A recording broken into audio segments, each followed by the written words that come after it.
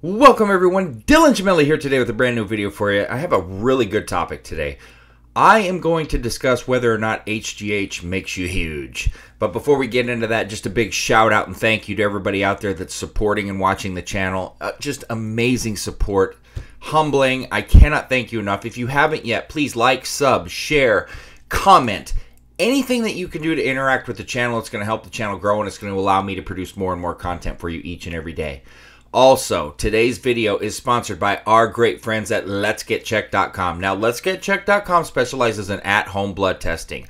All you have to do, go to the website letsgetchecked.com, pick out whatever test that you want to order, and they have it all for men and women. They've got full hormonal panels, wellness panels, sexual health, anything and everything you can think of, it's on there. Pick out whatever you want, order it. Coupon code Gemelli30 will save you 30% off your entire order. They're going to ship you the kits. All you have to do is get online, register the kits, and then return your sample. You're going to get results extremely fast. They have doctors and nurses there to answer all of your questions and concerns about your blood work. It's fast, it's reliable, it's efficient. letsgetchecked.com Coupon code Gemelli30 is going to save you 30% off. All right, so let us discuss whether or not HGH is going to get you huge, make you a mass monster, turn you into Mr. Olympia, and every other nonsensical thing that I hear people say out there. For the longest time, and, and a lot of this I'm going to blame on the media, which shit we can blame a lot on, but that's an entirely different topic I'm not even going to touch. But in this regard, this is how we blame it on the media to start with. So if you think back to the steroid era in baseball, when HGH really was getting talked about the most, what's the main thing that they start talking about? Oh, they're taking HGH and it's making them huge. It's making them hit home runs. It's making them do this. It's making them do that. Negative, negative, negative, negative. The reason that they were taking HGH, a lot of them, was to help them heal faster and to get over injuries, especially pitchers that were trying to recover from arm injuries. That was the main use. They were using steroids, Barry Bonds, Mark McGwire, Sammy Sosa, Rafael Palmeiro, the list goes on and on and on, to hit home runs, to get strong. Mix HGH and steroids together and you're getting the whole damn shebang. But don't kid yourself. That's part of the reason of where it started, and it just progressively got worse in terms of the misconceptions about how it makes you just this Mr. Olympia mass monster. If you take HGH on its own, no steroids, nothing else, no test, nothing, just take HGH on its own, take it for a year, and tell me how much mass and size you get, and then come talk to me. You're going to absolutely be able to gain lean muscle. That's not what I'm saying. So don't misunderstand or mix the words. I am not in any way, shape, or form indicating that you're not going to gain a little bit of muscle mass with it. But if you think you're going to gain 10, 15, 20 pounds on HGH alone, you clearly have a very, very, very strong misconception or have been misled by somebody somewhere, somehow.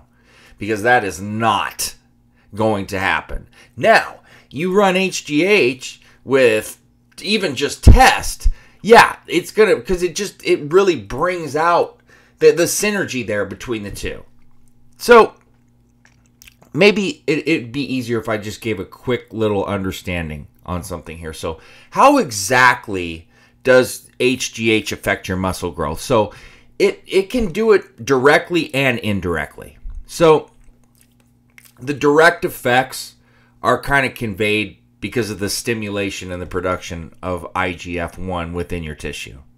So, I, I haven't done technically my IGF video yet, but I will do that. But just quickly, eh, IGF 1, in a nutshell, it's the main mediator of the anabolic effects of the growth hormone. So that is why HGH stimulates IGF 1 production in almost all tissues, and your skeletal muscles are not an exception here. All right, so it can actually have an indirect effect by stimulating the production of IGF 1 in the liver. So, the, excuse me, the liver is going to then release the mediator within your bloodstream and it's going to provide an additional anabolic stimulus to your tissues.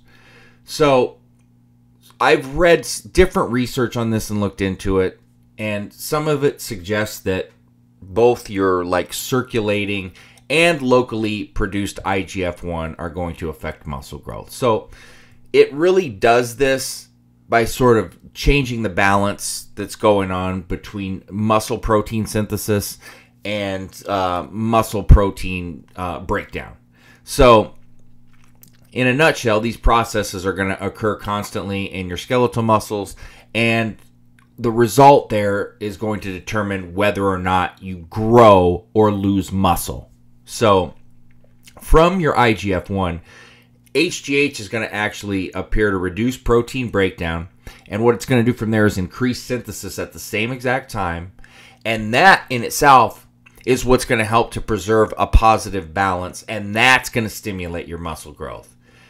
However, studies suggest that people, you know, that are using HGH may have this stimulation you know when they're experiencing like an increased protein breakdown for example. So this is going to be chronically ill patients that are suffering from like growth hormone deficiency.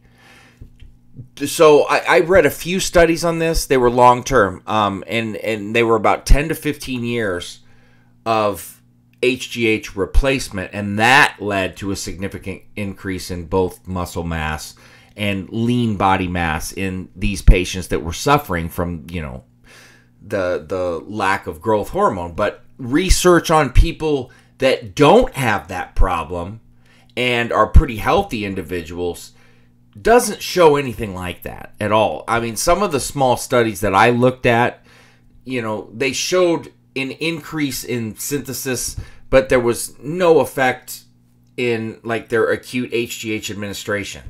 So, what a lot of places will kind of lead you to believe is that you're going to get just massive on it. A lot of these anti-aging clinics will throw out some false facts or things, things like that. But a lot of it is just people like on forums, people in the media, and it just it's troubling to me that people don't like look into things a little bit more and and read more and study more and look at things on their own. They just take people's words for it. And then they either get let down get themselves hurt have over or under expectations. Um it, it, a lot of things that i looked at too and this is not just from personal experience and use but looking into the studies most people don't even really start to see any sort of lean muscle growth until like two to three months in. And for some people it's even longer and and so you that, that's another thing that you have to understand you're going to see a lot more muscle growth with HGH if you're HGH deficient.